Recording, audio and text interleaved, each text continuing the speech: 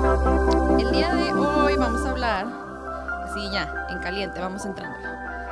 De un Hola, tema. amiga, buenos días. Hola, buenos días, ¿cómo están? buenos días a todos los que nos sí, sí, escuchan. sí, buenos días. Estamos ahora sí que estrenando nuevo set. Set, ¿ok? En nuestras instalaciones. Sí, este está. segmento va a estar grabado aquí. Tal vez cambiemos de set conforme Sí. pasen Las las, sesiones. Ajá, sí. Pero el día de hoy estamos en este espacio nuevo, sí. Este, decidimos hablar de este tema porque vemos que hay mucha necesidad y sobre todo confusión al respecto, ¿verdad, Ricardo? Ajá, Sí. es un tema muy interesante, ahorita les vamos a decir cuál. Sí. Pero eh, es empezar a, a destruir las ideas que tenemos erróneas de las cosas. ¿no? Sí. En este caso queremos hablar un poquito, ya digo el tema, amiga. Sí, sí, dilo, ahora. Ahora. ahora Tres, dos, uno. queremos hablar de los mitos que existen alrededor de asistir a psicoterapia. Así es. Es un tema que se nos hace muy, muy interesante porque nosotros, como ustedes saben, somos psicoterapeutas, ¿no? Trabajamos principalmente con, con pacientes y es algo con, los que, con lo que nos topamos muy seguido, ¿no? Sí, de hecho, eh, no solo es como hablar de estos temas porque es algo con lo que nos topamos muy, segu- muy seguido, perdón, y nos súper apasiona, y aquí yo creo que se va a notar porque son cosas que nos terminan al final de cuentas también afectando Ajá. o que privan a las personas, y ese es el segundo punto para mí más importante, privan a las personas de acercarse a atender su salud mental. Exactamente. Entonces yo creo que aquí en México sobre todo todavía no hay, y en muchos países, pero vamos a hablar de la cultura que nosotros conocemos, todavía no hay mucho como conocimiento acerca del tema, hay muchos tabús, hay muchos mitos, hay muchas ideas erróneas que llevan a las personas a no atenderse. Y eso es bien importante porque la salud mental debe ser atendida igual que atiendes tu salud física, igual que vas al doctor o haces ejercicio. Es súper importante. Entonces a mí me parece que es de bueno, no solo de suma importancia, como ya dije, Claro. sino es como vital, ¿no? Es de, es de tu vida el poder atender esta parte, en Claro, mi opinión. es como tener prejuicios acerca de la atención médica, por ejemplo, ¿no? O sea, imagínate que, que existieran todos estos mitos que existen a través de la psicoterapia, que ahorita vamos a empezar a, a leer y a explicar un poco, a opinar sobre ellos, alrededor de la, de la atención médica. ¿no? Sí. Como no ir con un médico que no es súper malo, no Sí. te va a tocar, o te va...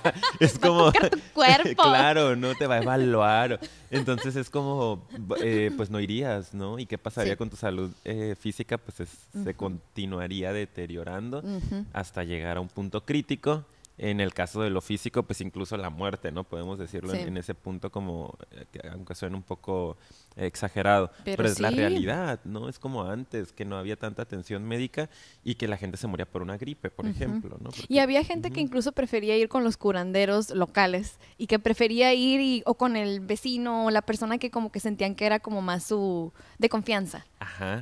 Y de hecho, ahorita yo creo que vamos a hacer alusión a ese tipo de cositas que platicamos ahorita que tiene que ver con los puntos que traemos. Pero sí, totalmente de acuerdo. Y la gente terminaba Y terminaba, claro, más enferma, ¿no? Muriendo, y por eso pues, la esperanza de vida obviamente ha ido aumentando en medida en la que la gente pues tiene más confianza en, en la medicina y se le ha invertido más lana y etc., ¿no? La Sí. tecnología médica. Pero acá en lo, psico, en lo psicológico pasa lo mismo. Yo creo que la gente tiene muchos prejuicios, demasiados prejuicios alrededor de esto. No saben realmente lo que es la psicoterapia, porque es la realidad, no lo sabemos. Y no tiene nada de malo, por decirlo de alguna forma. Sí. No tendrían por qué saberlo, pero sí estaría padre que la gente empiece a abrirse un poco más a saber qué es esto, ¿no? A enterarse, eh, a bajar esos prejuicios y entonces abrirse a la posibilidad de atender su salud mental, que es algo padrísimo y que es igual de importante que la salud física. Sí. De hecho, hay una relación muy, muy estrecha entre la mente y el cuerpo. Y aunque el cuerpo esté de maravilla, si la mente no lo está en un punto estable, va a enfermar al cuerpo, ¿no? Y viceversa. Entonces, creo que sí es bien importante este tema, sobre todo porque el podcast eh, en, en general eh, va a tratar temas de salud mental. Sí. Entonces, antes de entrar a esos temas de salud mental como tal, pues es importante primero empezar a bajar la resistencia que tenemos a... Que yo creo que puede ser esto, ¿eh? Sí. Y ahora una cuestión más analítica, creo que estos prejuicios y estas ideas eh, que existen alrededor de la psicoterapia pueden ser una resistencia al cambio. Es una forma de no... De, me busco una explicación un Sí. tanto fantástica para, para evitar el contacto con el otro, ¿no? Y a lo Sí. mejor un, Sí, a lo mejor no confrontar lo que, que está dentro de ti. lo que tienes que o a lo mejor ¿no? en verdad sí, nada más no creer trabajarlo y conscientemente, inconsciente o conscientemente, las personas nada más no quieren moverle, que es uno de los puntos que traemos, ¿verdad? Entonces, yo no sé tú, pero yo digo que ya hay que empezar. entrarle. Sí, porque son muy buenos y yo creo que todos por lo menos alguna vez lo han escuchado. Eh, entonces, pues bueno, el punto número uno. 10 puntos. Top 10 mitos sobre la psicoterapia, ¿no? Sí, sí, sí, Así literal tenemos 10 puntos. Punto número uno. Este es el más famoso. La terapia es solo para gente con trastornos o para gente loca. ¿Qué opinas de eso, Ricardo? Qué tragedia. sí, qué tragedia que existe ese prejuicio, ¿no? Porque la realidad es que, eh, para empezar, la gente sí maneja el término de locos, ¿no? ¿Qué es loco? Pues ni siquiera sabemos a qué se refieren con loco. Yo me imagino que se refieren a una cuestión psicótica, ¿no? Eh, el enfermo en el hospital de salud mental que se imaginan en las películas. Claro, que, está delirante o que está esquizofrénico, ¿no? Una cuestión por el estilo. Entonces la psicoterapia solo es para personas eh, que tienen trastornos graves o que, o que están locos, ¿no? Sí. Eh, Cuando es lo opuesto, de hecho. Claro, ¿no? O sea, para empezar debemos de, entender que hay una separación entre lo que es la psiquiatría y lo que es la psicología, la psicoterapia, ¿no? Ser un terapeuta de profesión.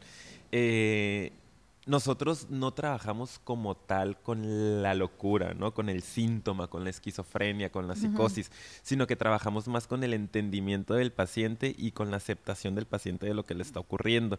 Eso sí lo podemos hacer, podemos trabajar con casos graves, pero la realidad es que atendemos todo, todo tipo de casos y que a la consulta llega todo tipo de casos, desde personas que simple y sencillamente se quieren conocer a sí mismas, desde personas que quieren entender cosas de su pasado, que quieren aprender a soltar, que traen broncas relacionales, ¿no? Con la pareja, con la mamá, con el, hijo, etcétera, ¿no? Con los compañeros de trabajo, personas que a lo mejor traen algunos síntomas un poquito más específicos que tienen que ver con ansiedad, que tienen que ver con asuntos depresivos, pero no es algo que tenga absolutamente que ver con la locura como tal. Claro, y de hecho, las personas usualmente, ahorita que eso que dices es bien importante, porque las personas usualmente lo que piensan es, ok, ya estoy súper grave y a lo mejor tengo algo mal en mi cabeza y puede que tenga un trastorno y entonces realmente lo que no saben es que cuando llega a ser en ese extremo, si vas con un psicoterapeuta, incluso te canaliza para que vayas a la par con un psiquiatra. Porque como precisamente la psicoterapia no se trata sobre atender ese tipo de trastornos en ese nivel, nosotros lo que hacemos es canalizar muchas veces incluso eh, nos llegan, porque sí nos pueden llegar casos así de entrada. Claro que sí llegan. Es parte de nuestro trabajo, sí. pero no es su totalidad. No, y nosotros podemos canalizarlo a algún tipo de institución que lo apoye. Pero claro que no, y yo creo que eso está bien, de hecho está bien loco. Sí. porque, hablando de locura, porque es lo opuesto. Y la gente cree que cuando tú ya estás así de que delirando. En ese punto de gravedad. ya, entonces es que tienes que ir. Claro. Y claro que te vas a ofender mucha gente, ¿no? Que no tiene ese tipo de problemas, que está mal también que se ofendan, ¿verdad? Porque ah, luego vamos a hablar a lo mejor en otro podcast acerca de, de, que realmente conozcan cómo son ese tipo de trastornos, que no quiere decir que seas una persona menos valiosa solamente por tener ese tipo de problema. Pero bueno, como va a ser tema de otro podcast, pero mucha gente se ofende, porque hay ese como, como esa idea de que tú estás mal si tienes un trastorno y vas a terminar en un psiquiátrico y vas a ser como, no sé, la, discriminado, lo que te imagines. Que son prejuicios ya particularmente de los trastornos mentales, que como dices, en algún otro podcast lo podemos tratar porque también es bien, bien importante, ¿no? Hay muchísima gente que vivimos o que viven con, con enfermedades mentales y que, que sufren, ¿no? Que aparte de aparte del, del, sufrimiento, del padecimiento del, de la enfermedad mental, o sea, sufrir el, el prejuicio, ¿no? Sufrir la discriminación por tener una enfermedad mental, pues es terrible, ¿no? Les terminamos de dar en la torre. Pero volviendo al punto eh, de, este, de este mito sobre ir a psicoterapia, creo que sí es bien importante que se destruya esa idea errónea, porque, como decíamos al principio, si persiste esta idea en, la sociedad, la gente se está privando de atenderse y sobre todo de prevenir una cuestión grave, psicológicamente hablando, ¿no? Porque, así como hay cuestiones físicas que se van a complicar y te van a mandar con un especialista, el, doctor, el doctor, bueno, el médico general te manda con un especialista porque sabe que señor, señora, pues no se atendió a tiempo, entonces ya queda fuera de mis manos, es exactamente lo mismo con nosotros. Ve a tu chequeo mental, atiende lo que tengas que atender, previenes que luego ya te mandemos con un especialista. Hay que verlo más o menos de esa manera. Desde ese enfoque, claro, ¿no? más o menos, no es tal cual, tampoco estamos comparándonos porque es diferente, pero por poner un ejemplo para que se acerque Claro, ¿no? Si no te atiendes a tiempo, yo creo que así se generan todos los vicios, ¿no? Y, vicios no me refiero nada más como a estas cuestiones de adicciones, ¿no? Sino como cualquier falla de la personalidad o cualquier vicio de la personalidad eh, eh, es parte de una repetición constante de lo mismo hasta que se llega a anclar, ¿no? Se llega a arraigar a tu personalidad y se convierte en parte de ti. Entonces, una situación, a lo mejor un problema de pareja, ¿no? Que pudo haber empezado en, una pequeña discusión, una pequeña diferencia, en donde utilizaste algún mecanismo para defenderte y se quedó ya ahí como parte de la dinámica de la, de la relación de pareja. A lo mejor si hubieras asistido a tiempo como, a ver, me está moviendo esto de mi pareja, no estoy seguro qué onda, si es algo mío o es algo del otro, y te pudimos haber ayudado de alguna u otra forma como a, ubicar ciertas cosas, a, diferenciar qué es tuyo y qué es del otro, lo dejas ahí. ¿No? Y se va quedando, se va haciendo viejo, se va haciendo viejo, se va arraigando y de repente ya es un problemón de pareja en donde termina en un divorcio, por ejemplo, ¿no? Nada más de a la fregada, ya no quiero estar aquí y la salida fácil es vámonos, ¿no? Me divorcio. Entonces son cuestiones, o sea, es un ejemplo para poder ubicar que a tiempo se puede, se puede solucionar y que nosotros somos los expertos en trabajar con eso, con personalidad, con salud mental, con cuestiones conductuales, con cuestiones emocionales. O sea, hay muchísimas cosas que podemos trabajar antes de trabajar con un trastorno grave de, de salud claro, mental. Ya que el problema está como muy, muy profundo. Pero ahorita que comentas eso, me estoy acordando, tú no sabes, la, como yo, voy a repetir, soy psicóloga infantil, trabajo mucho con papás, no sabes la cantidad de veces que me ha tocado escuchar a los papás cuando yo les pregunto, porque a veces llegan conmigo y que tenemos muchos problemas, no nos ponemos, podemos poner de acuerdo, eh, muchos de ellos ya llegan incluso a sesiones después de que me traen al niño ya más adelante, pues ya, ya nos separamos. Y no sabes la cantidad de veces que yo después de que les pregunto y pues hicieron algo al respecto, han considerado la terapia de pareja, como que trato de indagar un poco en eso antes de que siquiera a lo mejor tomen la decisión, porque me toca muchas veces que ya estén juntos. O sea, que están juntos, perdón, y durante la terapia es que de repente ya se separan. La terapia del niño, ¿eh? Ni siquiera vienen conmigo. claro. y yo, cuando yo les pregunto eso, ¿sabes qué? Muchos, pero muchos me dicen, pues es que sí, yo, yo se lo dije a, mi esposo, a mi esposa, pero en ese momento no lo consideramos. Él o, yo llegué a decir, no creo que sea necesario ahorita, no creo que estemos en ese punto. En ese punto. No, Eso se no. Escucha mucho. Sí, no creo que estemos tan mal, es otra frase. Y yo como, ok, precisamente por eso. Entonces hay que esperar a, estar muy mal. A estar mal. Y claro que no, es como, si tú ya tienes un problema que sientes que no puedes manejar o que se te está saliendo un poquito de de las manos y no en un sentido de que hay de, tus posibilidades, no, sino como no encuentras muy bien cómo solucionarlo, pues qué mejor que ir con alguien que te ilustre y te guíe un poco en el camino. Yo creo que es mucho mejor hacer eso que esperarte a que ya no haya remedio. Claro, que la realidad, ¿no? Siguiendo de la mano con, con, con este mito, es que la mayoría de la gente que llega a consulta llega cuando ya está en una situación pues grave, ¿no? Yo creo que, que sí tengo en, su mayoría en la consulta pacientes con una cuestión grave que llegan aquí cuando ya sienten que se les salió de las manos la situación.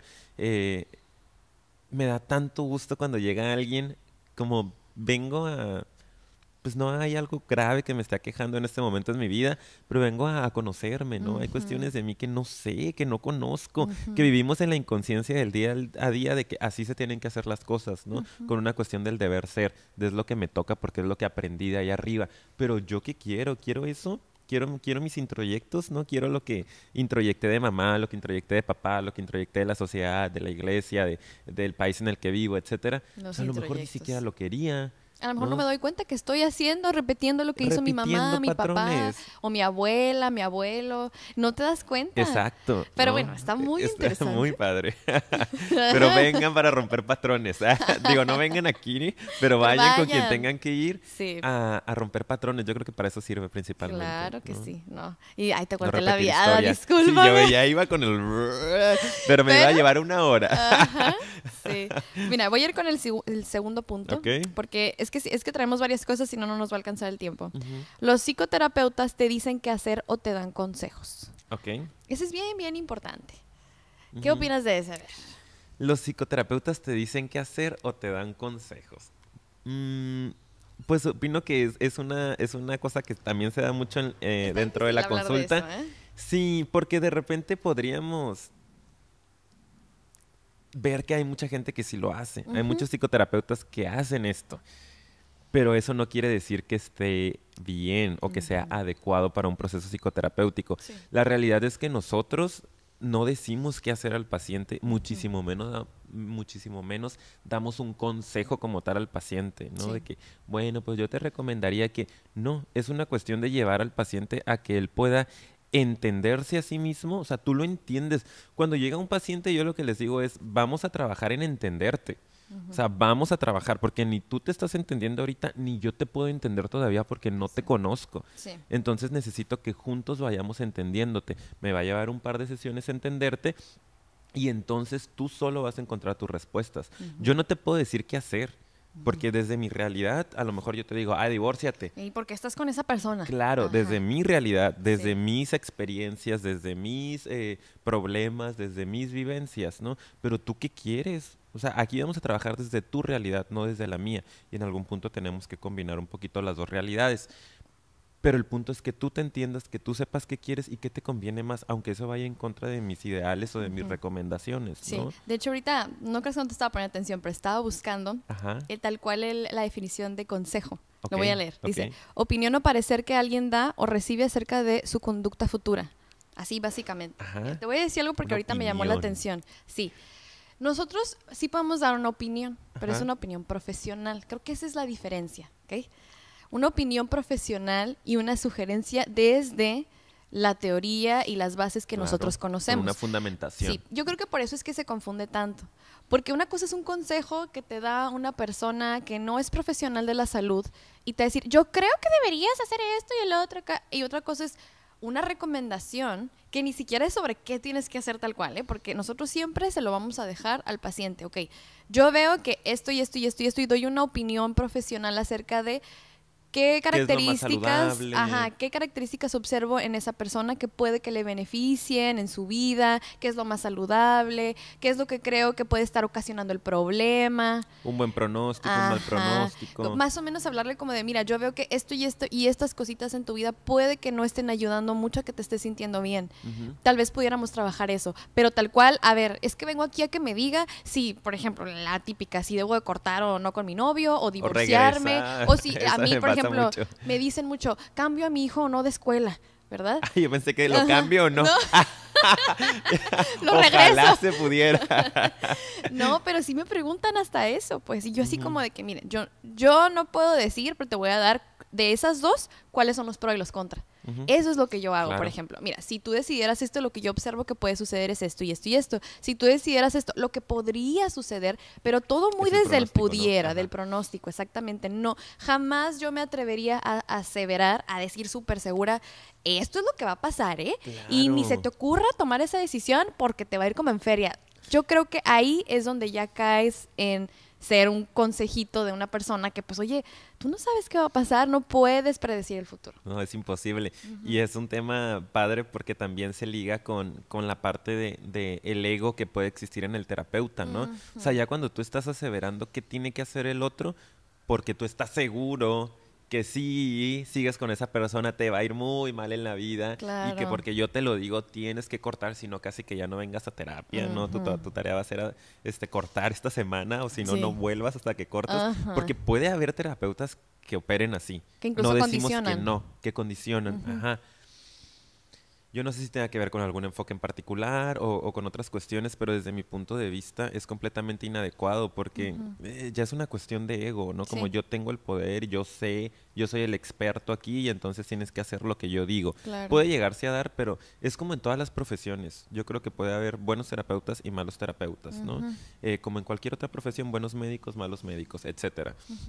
Entonces es bien importante esa parte. Nosotros nunca le vamos a decir al paciente qué hacer. No. Nosotros no, no, sería caer en, esta idea de, nosotros sabemos todo, ¿no? Claro que no. O sea, yo veo esto desde una opinión profesional completamente con fundamentación, fundamentación teórica y la experiencia que he tenido con otros pacientes e incluso en mi propio proceso, yo veo que si te vas por este camino podrías pasarla mal ¿no? Y si te vas por este, pues a lo mejor podría ser un poco más cómoda tu vida. Pero es tú importante decides, que tú decides. Tú decides, tu desarrollo te lo va a marcar, ¿no? O E sea, ¿qué incluso nosotros, como buenos terapeutas, lo que tenemos que decir es, o sea, reiterar el apoyo. Decías lo que decías, igual nosotros, o sea, Vamos a seguir. vamos a seguir aquí y trabajamos con lo que y no se te va vayas a juzgar. Eso es bien importante. Sí. Porque el paciente se siente juzgado. Y tengo un caso ahorita que tengo activo eh, que, que me viene mucho a la cabeza, ¿no? Es una cuestión como de regresar con el ex o no. Entonces hay como mucha presión y como que ya estamos hablando otra vez y, y no sé qué onda. Y, y- y te ven como esperando una evaluación, ¿no? O esperando Sí. incluso un rechazo del, del comentario.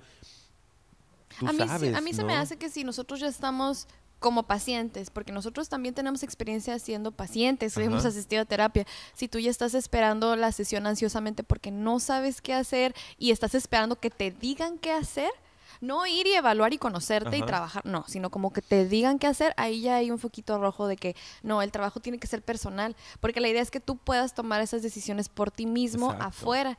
Y si no puedes el que va a hacer vivir eso, con esas decisiones eres vas a ser tú, sí, y o sea, el tiene que haber terapeuta al rato se va y, y te quedaste ya divorciado. ah. No, pues claro. El terapeuta no está viviendo tu vida, entonces es importante y yo creo que para las personas que tengan la duda de si ir o no, pues tomen eso en cuenta. También otra cosa antes de que pasemos al siguiente punto muy importante es que precisamente como creen que se les va a ir a juzgar y se les va a decir qué hacer, pues no van a terapia. Exacto. Dicen, ah, yo no voy a ir a, que, me digan, qué hacer. Exactamente, esa es la frase. Sí. ¿Cómo voy a ir con alguien a que me diga qué hacer? Sí, O y sea, ni lo con conozco. Mi vida. Sí. ¿Qué vas a ver de mi vida? Y yo, pues es que se va a construir Claro, algo, ¿no? y es- vas a conocerte y a tú construirte, no a que alguien vaya y sea el Y arquitecto de tu vida. Ajá. Exactamente, ¿no? sí. Y, y te diga dónde poner las piezas. Para Sí, nada claro. es eso. Entonces, Ujú. qué, qué padre, ¿no? Romper ese mito. Claro, No y que está eso. interesante, ese está muy gusta, interesante. Bueno, y se los juro, yo creo que pudiéramos hablar una hora de cada uno de esos puntos. Sí. Pero y vamos contar con experiencias, pero bueno. Aquí yo creo que en este nos podemos ir un poquito más rápido porque se me hace más breve. El paciente mantiene un rol pasivo.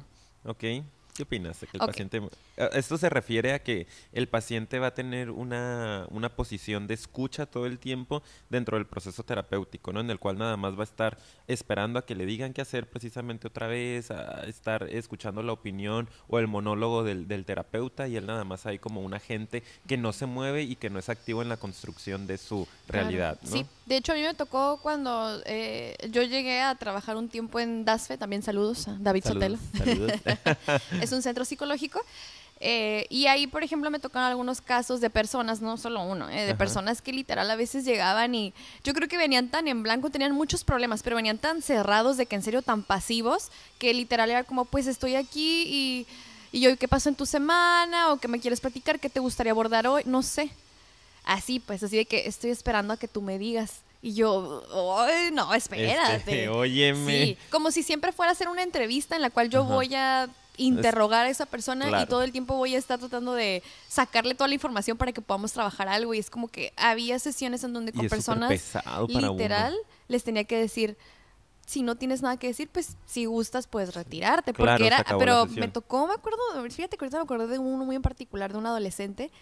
Pero también yo creo que era un poquito retador. Entonces ahí sí era como. Por eso no me gusta y, reco- y no recomiendo que los lleven a fuerzas a los adolescentes. Eso sí, yo también no Es- recibo para a gente que esté nada, condicionada. no. Entonces, eh, como él iba un poquito a fuerzas, y ahí aprendí, ¿verdad? ahí, ahí ya dije, ok, no lo vuelvo a hacer. ujú. Fuera así de que, pues nada, no sé, y no lo sacaba de ahí. Entonces yo hubo una sesión donde dije, pues si no hay nada, pues si gustas, no tenemos que trabajar nada hoy. Si no traes nada, hoy no se tiene No que te abordar. puedo obligar a, traba- Ajá. a, a crecer como Sí, persona, ¿no? Que en ese caso en particular, digo, doy el ejemplo de que sé que fue algo desafiante porque cuando le dije eso, pues luego ya empezó a hablar. Ajá. Pero ha habido otros casos en donde sí digo, oye, pues si no traes nada igual, puede ser cada dos semanas. No, no es que sí me urge. Y yo, bueno, entonces tú eres aquí, el rol es activo, no pasivo. Exacto. Y sobre todo tienes que tú trabajarle en tu semana un montón lo que, lo que ves aquí. No sé, ahí por ejemplo, supongo que tú también tienes tu experiencia, ¿verdad? Claro, ¿no? Y es algo que yo les digo a los pacientes cuando llegan en una primera entrevista, siempre les comento esta parte en la que, a ver, esto va a ser una construcción entre los dos, ¿no? Los dos estamos exactamente en el mismo nivel. A lo mejor yo soy el experto en, en, conducta, en procesos mentales, en emociones, etcétera, desde lo teórico, pero tú eres el experto en tu vida. Sí. O sea, tú te conoces mejor que nadie. ¿no? Entonces, necesito que tú me traigas información para yo poder trabajar. Es son de las reglas que pongo, ¿no? Dentro del encuadre así básico, Sí. de las reglas que ponemos para poder trabajar con el otro es, yo les digo, ¿tú qué necesitas de mí? ¿No? ¿Cuáles son tus expectativas del proceso terapéutico? No, pues espero esto, aquello, chalala. Ahí salen de repente estos mitos de que me digas qué hacer, que me ayudes a... Entonces reestructuramos, corri- corregimos la visión y después yo qué necesito de ti, ahora va, ¿no? Pues el compromiso, este puntualidad, esta cuestión de en el compromiso la parte de avisar si vas a venir, no vas a venir, con suficiente tiempo para yo modificar agenda, etc. Y dentro de eso necesito que me traigas información. Yo voy a trabajar con lo que tú me traigas al proceso terapéutico. Yo no puedo estar picando, no como Sí. eh, tengo que de aquí y de acá y todo angustiado de que, que- que- qué información saco, no dice nada, porque es angustiante para mí y para el otro no va a ser un- una sesión productiva. Claro Entonces que necesito no. que tú me traigas información, que tú estés bien consciente en tu semana de qué te pasa, qué no te pasa, cuándo te sientes mal, cuándo te sientes bien y que eso me lo puedas venir a devolver acá y juntos lo vamos a armar. ¿no? Como un rompecabezas. Claro. Y entonces vamos a poder construir algo muy padre que te va a servir a ti. Sí. Eso por un lado y también la parte de las tareas, ¿no? Sí. Yo les digo, importante. en ocasiones te voy a estar dejando tareas, ¿no? Eh, esto que es no una es la tarea típica de la escuela, ¿eh? Que sí, no es como que vas a tener que hacerme una plana de... No, No. debo de hablarle a mi novio. Exacto, ¿no?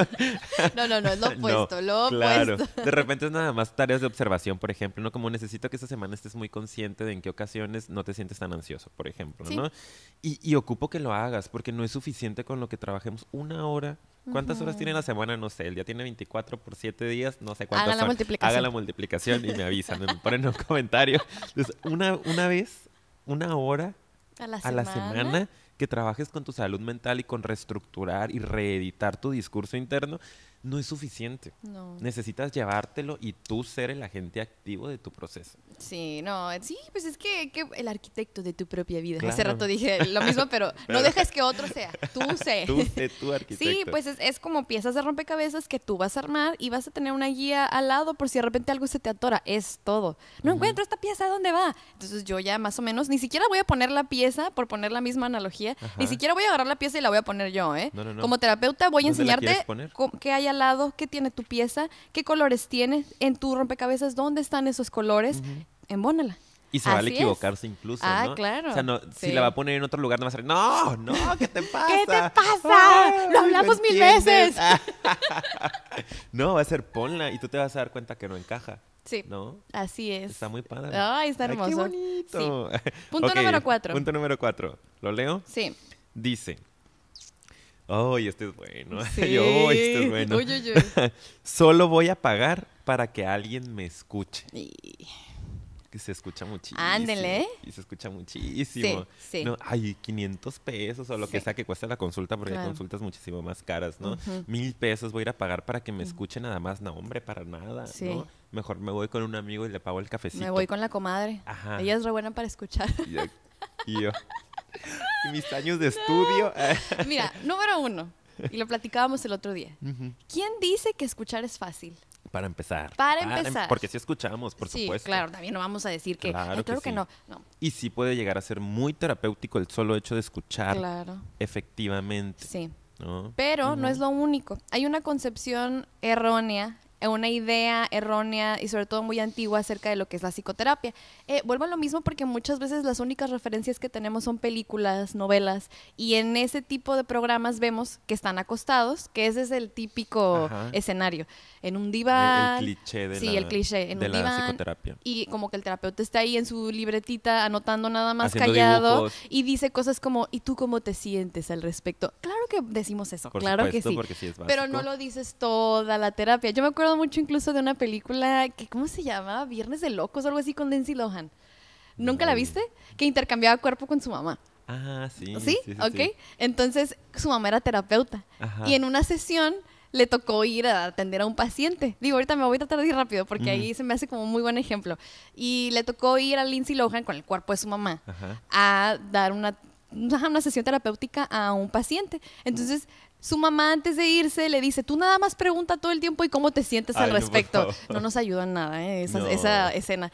Y sí, todo el tiempo le pregunto eso y al final el paciente sale muy satisfecho. Obviamente, si tenemos estas referencias, la gente lo ve y dice, ay, no, ¿cómo voy a ir a ¿Para qué voy a pagar? pagar? Sí, pero no es eso. Ahora, voy a hacer un paréntesis muy breve porque yo doy muchos talleres sobre asertividad y empatía.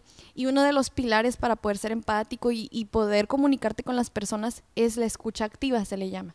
Es bien difícil escuchar sin ningún tipo de prejuicio y con la intención solamente de entender a las personas. Es muy complicado. Y es por eso que a veces en un proceso psi- psicoterapéutico, no a veces, la mayoría de las veces y siempre se esperaría que seamos tan neutrales.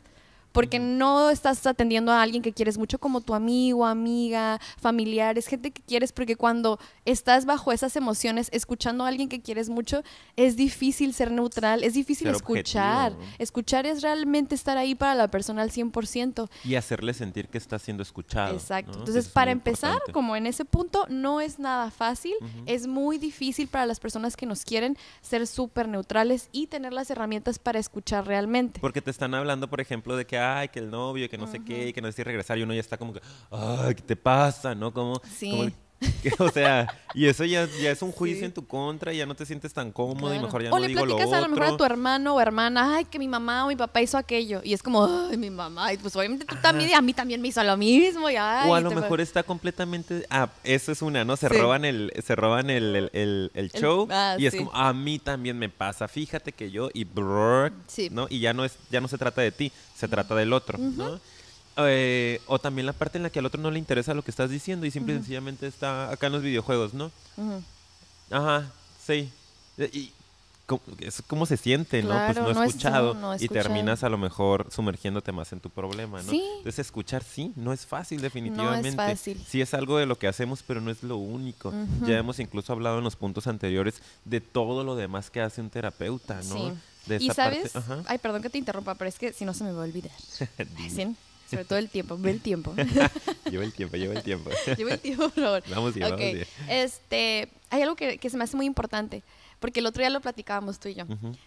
que escuchar con la intención también de retroalimentar y analizar lo que me está diciendo para saber de dónde viene y a dónde va el problema es bien complicado. Bueno, para las personas que no tienen el entrenamiento, Ajá. para los psicoterapeutas que para eso nos entrenan, para escuchar, observar, analizar y crear más o menos una imagen de por dónde vas a empezar para que termines en tal punto, no es nada fácil. Entonces, Implica toda una planeación interna. Claro, entonces tú estás escuchando como terapeuta y vas armando, tu, tu, tu, conectando y por eso a veces incluso vamos escribiendo en la para que porque uno hace tantas observaciones a veces, a veces te dan no sé como dos tres frases que tú, ok, esto Esto es clave, es como... clave, se lo voy a regresar ahorita, se lo Ajá. voy a reflejar. ¿Te diste cuenta que hablaste así ya sea de tu madre? ¿Te Ajá. diste cuenta que te alteraste mucho y que incluso alzaste la voz cuando hablaste de este tema?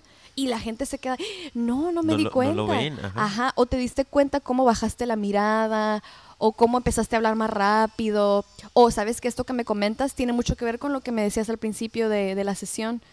Hacer esas conexiones son tan, tan padres, es bien interesante. Y no te las va a hacer un amigo, ¿no? Ajá, Porque no existe objetividad para empezar, porque a lo mejor no te está escuchando activamente, porque simple y sencillamente no tiene el conocimiento de todo este, Claro. es- este procesamiento de la información que nosotros pues para eso no estudiamos, ¿no? Así es. Entonces no es que, que le va- vayamos a decir qué, qué hacer, ¿no? Al paciente, no es que solo lo vayamos a escuchar, eh, no es que lo estemos evaluando, es simple y sencillamente ayudarlo a construir un- su realidad de una manera más saludable y más adecuada.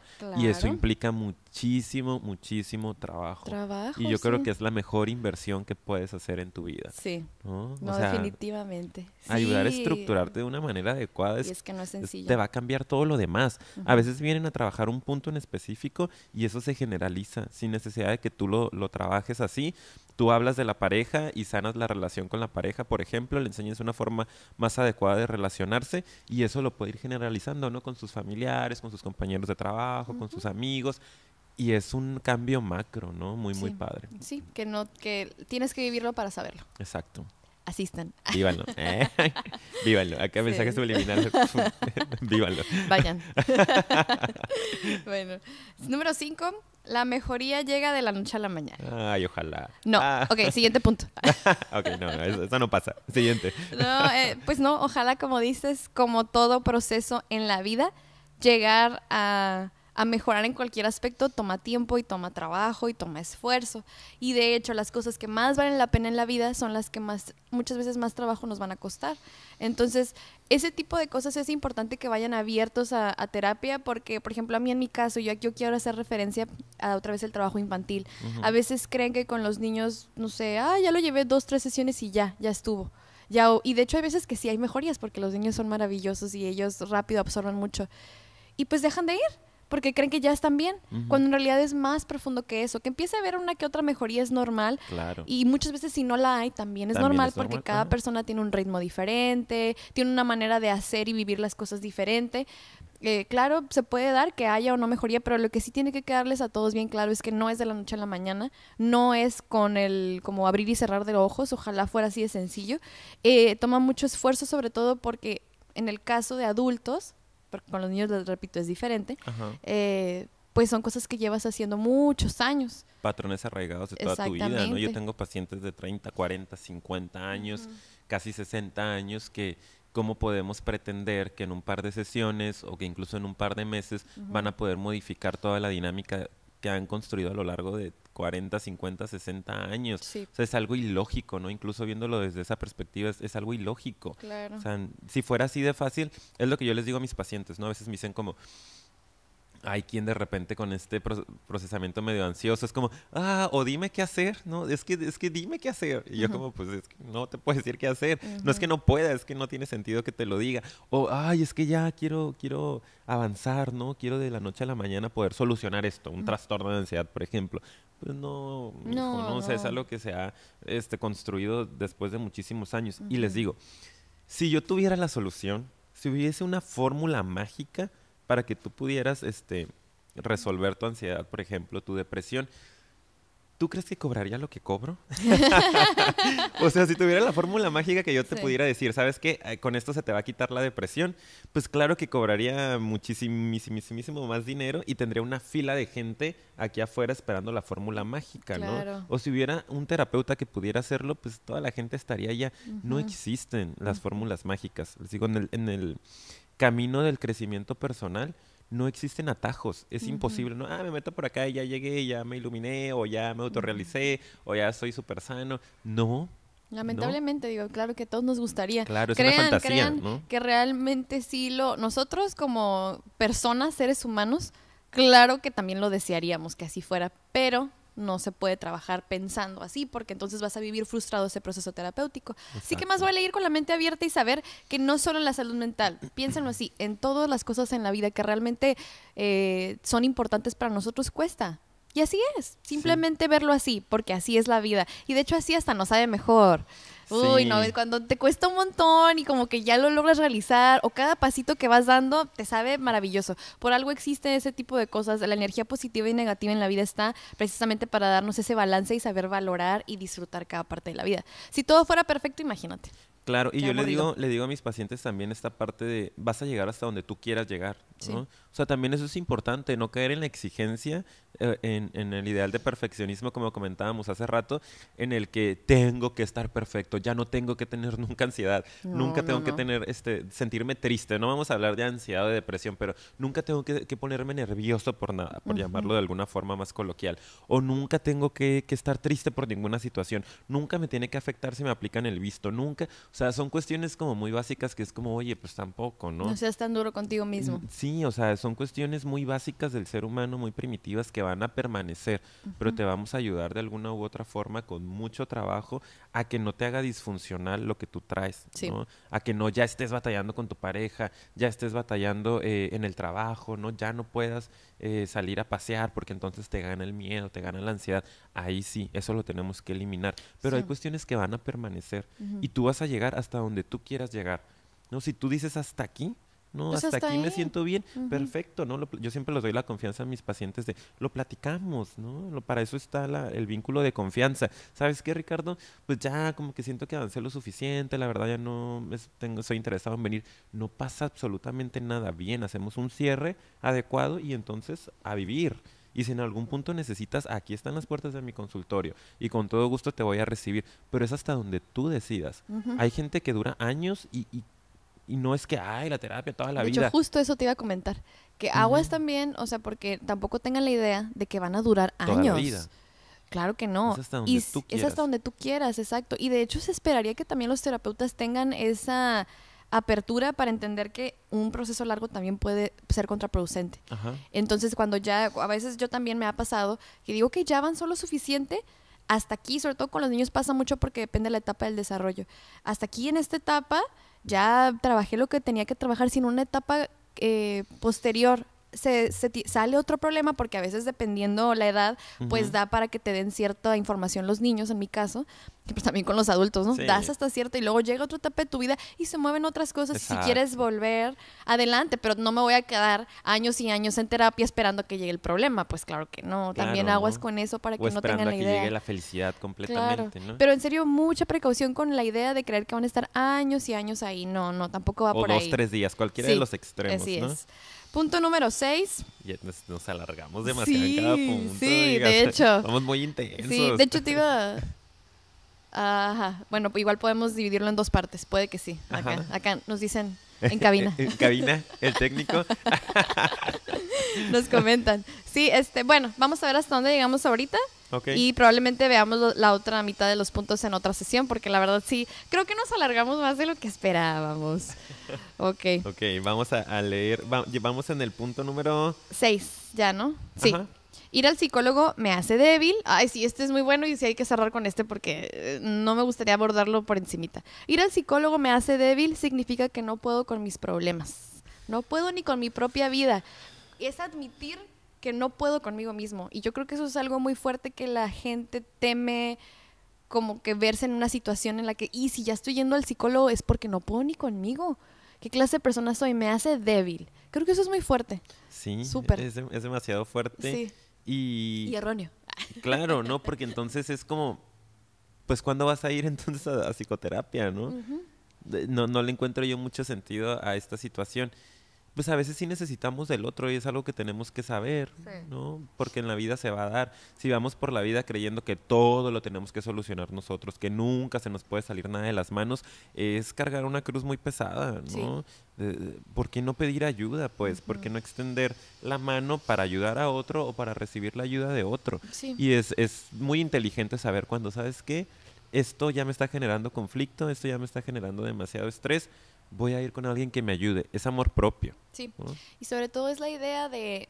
A mí no me gustaría que, que mucha gente se quedara con esa idea, te voy a decir por qué. Porque es la idea de creer que como que somos súper poderosos de alguna manera. Ajá. Como que tendríamos que, tener todo resuelto. Sí, que tenemos que... De hecho hay personas, incluso creo que aquí, que no les gusta ni ir al médico. Así, volviendo a hacer referencia, como no, no querer admitir que están enfermos como si, el, no sé, si tuvieras una gripa o algo así, fuera un síntoma de que, ay, eres Te un hace débil. débil. Ajá. ¿Te pero hay- enfermaste? Oh, Uy, sí. mm, Pero hay gente que qué sí. débil, qué Hay- cobarde, te enfermaste. Exacto.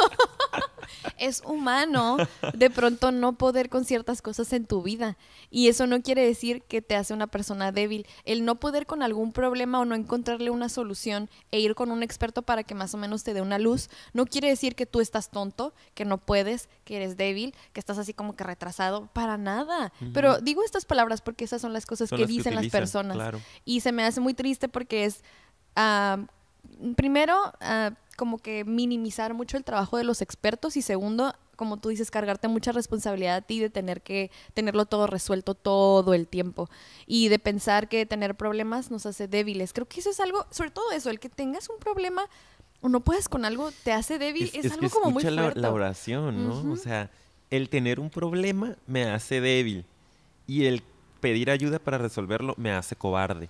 Entonces, pues estamos jodidos, ¿no? Sí. O sea, no, nunca puedo tener un problema y si lo llego a tener, no puedo pedir ayuda porque no quiero ser cobarde, porque no quiero ser débil, pues entonces es, es sufrir, es padecer todo el tiempo. Sí. Yo no le hallo nada de sentido, ¿no? Desde mi perspectiva es claro que no. O sea, yo me quiero, yo me respeto, entonces yo sé que cuando algo se me está saliendo de las manos, yo quiero que alguien me ayude a darme otra visión, una visión más amplia, que Sí. me ayude a salir del hoyo en el que caí, ¿no? y, y voy a ir a solicitar esta ayuda, sea un terapeuta, sea un médico, sea lo que sea que tenga que acudir, Sí. dependiendo del, del tipo de síntoma del que estemos hablando. Claro. Entonces yo creo que es lo más humano del mundo tener problemas porque es lo que te ayuda a poder crecer como ser humano.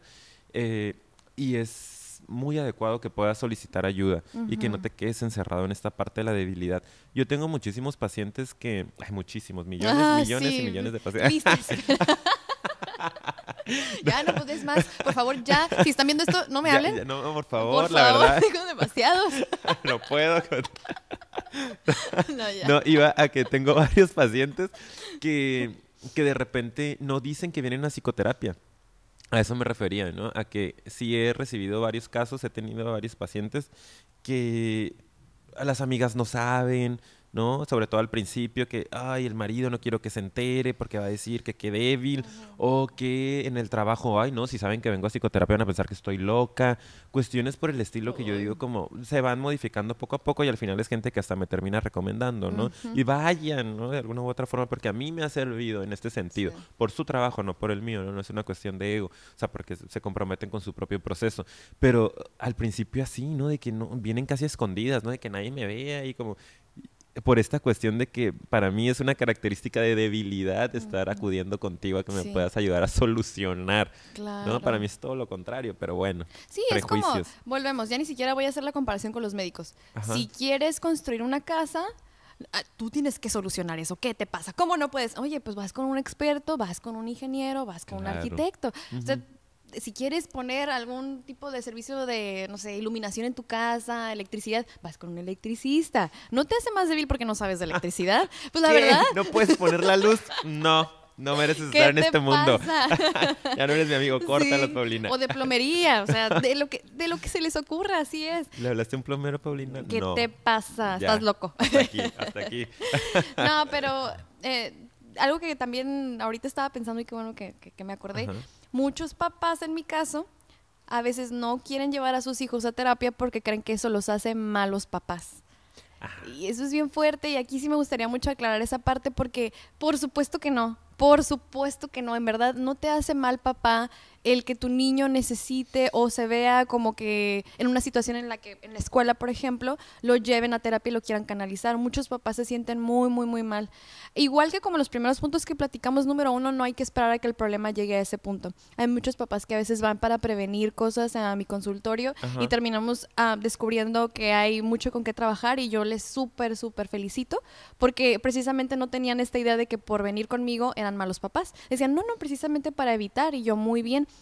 Y a los que fueron canalizados por la escuela o ya se ven en una situación muy crítica en la que el niño ya lo tienen muy focalizado o ya está empezando a tener mucha dificultad y terminan yendo porque también ya están desesperados, no se preocupen, está bien. Muchos papás, más bien todos, tienen dificultades con sus hijos. supuesto. Y el hecho de que el ¿Quién niño... nos enseña a ser papás? Claro, y el hecho de que el niño presente ciertos síntomas en su comportamiento o de otro tipo, tampoco lo hace más débil, ¿eh? Ni lo hace más mal niño, para nada. De hecho, yo a veces les comento mucho a los papás, en los niños, en ese caso, cuando empiezan a tener ese tipo de reacciones, para mí quiere decir, o sea, son defensas, que está reaccionando y que está diciéndote y te está comunicando que hay algo que está mal. Entonces, Necesita haber un, un reajuste, Sí, ¿no? Entonces yo para mí, esos niños, yo siempre es como que digo, eh, muy bien, campeón, porque la verdad es que No te estás... adaptaste a lo No te adaptaste a lo... Exactamente. O no te quedaste así todo ensimismado, callado, sin decir nada toda tu vida y luego ya de adulto sale. Desde ahorita está,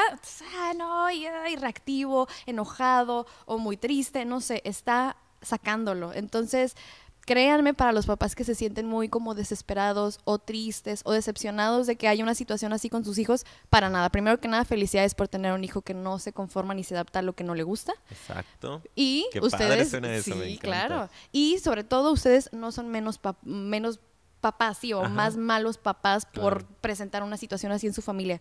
Pasa hasta en las mejores familias. Y sí. Así y lo mismo pasa sí. con las parejas, ¿no? También de repente yo que he recibido algún- algunas parejas en, en el consultorio, eh, pasa lo mismo, ¿no? Venir acá en pareja, ¿no? En, en- en la comunión, ¿no? En, este par. Imagina- Los imagino aquí. De repente viene la cuestión sobre todo los hombres, ¿no? Que, que es una cuestión ahí como muy, muy de ego. Eh, vienen sacándole al encuentro, ¿no? Como de, ay, qué débil, no pude con mi matrimonio y entonces voy a venir a que alguien me diga qué hacer. Sí. ¿Mm? Entonces ahí sí es un trabajo muy de empatía, ¿no? De poder mostrarles cómo funciona esto, los beneficios que va a tener la terapia, porque al principio la realidad es que son las mujeres las que impulsan un poquito más de vamos a terapia de pareja o Sí. hasta aquí llegamos, ¿no? en su mayoría, no todos, pero En su mayoría, también es muy ajá. cultural. Claro, es una cuestión completamente cultural, ¿no? Del ego del hombre, como lo comentaba, eh, etcétera. Entonces llegan acá y el hombre siempre está como un poco más callado, ¿no? Un poco más eh, eh, renuente, ¿no? Y, y, es ganártelo, ¿no? Es poco a poco que vayan viendo que no pasa nada en estar pidiendo ayuda y que esta intervención puede llegar a mejorar muchísimo su relación al grado de que puedan llegar a ser muy felices y puedan tener una vida muy muy padre en todos los sentidos, no sexualmente, económicamente, eh, relacionalmente, eh, emocionalmente, claro. y sabes que te cambian en un sentido que ni tú sabías que podías estar así de bien. Eso es lo más maravilloso. Cuando lo vives es Wow. ¿Cómo no pude saber o hacer esto? Ricardo, y no sé qué, ya luego vienen amigos y la la la, y yo como, ah, pues qué padre, ¿no? O sea, que te funcionó. Siendo que al principio estabas como, eh, no, yo, yo puedo con esto, ¿no? No me vas a venir a decir qué hacer. Claro. Entonces, bueno, pues son algunos de los prejuicios que están por ahí alrededor de nuestra práctica, que es tan ah, bonita. Sí. a mí me gusta muchísimo. Pero fíjate que como lo vamos a tener que dejar hasta aquí, quiero nada más dejarles los otros puntos, los voy a leer súper rápido para quien le interese que siga la siguiente sesión y también lo, quien quiera compartirlo a alguien que sabe que, que tiene dudas sobre ir a psicoterapia y a lo mejor les ha dicho los, los siguientes puntos que vamos a decir. Ok. Pero vamos a, profundizarlos en la siguiente, ¿ok? Eh, no, voy a poder, no voy a poder, voy a Ok, entonces la próxima sesión tenemos el mito de me veré obligado a hablar de temas que no quiero hablar, ¿ok? Eh, no, diremos nada. El siguiente punto es ir al psicólogo es como hablar con un amigo. Y también, pues, ¿cómo voy a pagar? Entonces, mejor le hablo a un amigo, ¿verdad? El otro punto que tenemos aquí, mito, es ¿qué vas a ver el psicólogo? Si él no está casado, enfermo, o no tiene mi trastorno, si no tiene hijos, ¿qué me va a venir a decir a mí? Ese es otro. Es buenísimo ese, buenísimo. Sí, muy bueno. Nos pasa mucho a nosotros que estamos jóvenes. Sí. Y el último punto es, los psicólogos no deben de tener problemas, deben ser perfectos. y ese... Ojalá. Sí. Y ese es uno de los más importantes y por eso vamos a cerrar con ese, porque incluso eh, lo sufrimos, lo padecemos mucho y se nos apunta, ¿no? Ay, si los psicólogos a veces hasta están más locos que uno. Óyeme, pues, este, como si no tuviéramos problemas, ¿verdad? Como si no fuéramos humanos. Exactamente. Entonces, lo vamos a profundizar. Lo vamos a profundizar a la que siga. Quien quiera eh, compartir esto, lo que ya trabajamos o lo que ya platicamos hasta ahorita, adelante, por favor, compártelo e inviten a más personas que quieran saber más sobre este tema y sobre estos puntos para la siguiente sesión. Muchas gracias por habernos escuchado, como siempre. si es que hay alguien ahí todavía. ¿Aló? ¿Me oyen? ¿Me escuchan? Este, y si no, pues ni modo. Bueno, a nosotros estuvo bien suave. La verdad, sí. Y pues bueno, muchas gracias por escucharnos y los esperamos para la próxima sesión. La segunda parte. de, de la psicoterapia. Muy bien. Muchas gracias. Hasta, luego. Bye, bye.